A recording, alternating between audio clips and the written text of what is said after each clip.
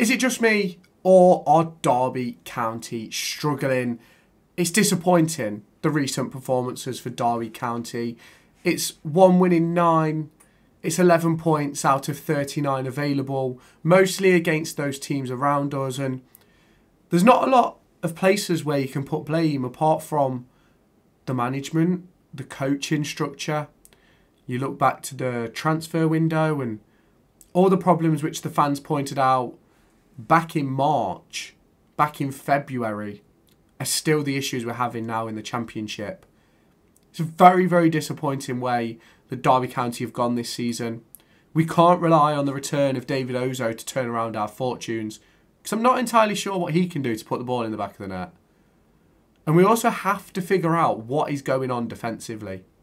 Giving up minimal chances but conceding every single chance is very, very disappointing.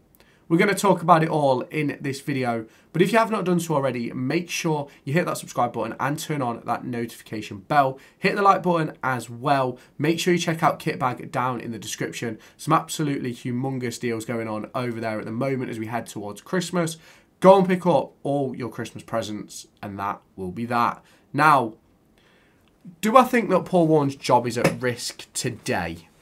No, I don't think so. Not as we sit here and I'm talking today at 12.26 on the 2nd of December. But do I think Paul Warne could be in major hot water as we get towards the January period? Absolutely. We face Leeds United twice. I spoke about this a couple of videos ago. We face Burnley. We face Luton Town, West Bromwich Albion. And Pompey isn't going to be easy. And it's not going to be easy anyway with how busy this Christmas period is. Seven games, or six games, or whatever it is, in the next 29 days. It's going to be hard, it's going to be a slog, and for fans like you and I, it's going to be a struggle, in my opinion. I think we've got some massive problems that we need to deal with at Derby County, and the biggest one for me comes from Kane Wilson in his post match Radio Derby interview. If I can put it in and it doesn't get copyrighted, I absolutely will do. But Kane Wilson essentially said, just in case I can't, that Derby County need to be doing the right things in training. They need to be scoring goals in training. Now, that set off alarm bells in my head. That made me think, I don't think Derby County are scoring in training. I don't think Derby County are doing the right things in training. Now, is that the case? I don't know. I don't get to see the training. Not many people do. And if fans are allowed to watch sessions, let me tell you, there will be heavily diluted sessions from what they're actually doing. They'll show you bits and bobs, but they won't show you the major things that they work on and things like that, just for the risk of it getting leaked or something happening. And for me, that talking point from Kane Wilson during the interview speaks volumes about what the situation is for Derby County right now. Do I think Paul Warne will get sacked during December? I think the big question really is do I think we're going to fall in the drop zone? I do think there's a possibility with the teams we have to face and the teams around us. It's only five points. I can see us going five without win. I can. Well, realistically, we're probably that now. I can't remember how many games ago it was that we played Coventry. But I can see us going five, six, seven games without win over the course of this next period. And then we're going to look back at the Plymouth game. We're going to look back at the Hull game. We're going to look back at uh, the game at the weekend. We're going to look at Swansea and think we could have picked up points, more points in all those games. And this is the problem that Paul Warne and Derby County face. A lack of clinical edge and giving up every goal as a chance is very disappointing to see. Now, do I believe that Paul Warne is training the players to miss goals? Absolutely not. Do I think Paul Warne is training the team to lose games? Also, absolutely not. Do I think Paul Warne is doing his best? Yes. Do I think we could do better? Also, yes.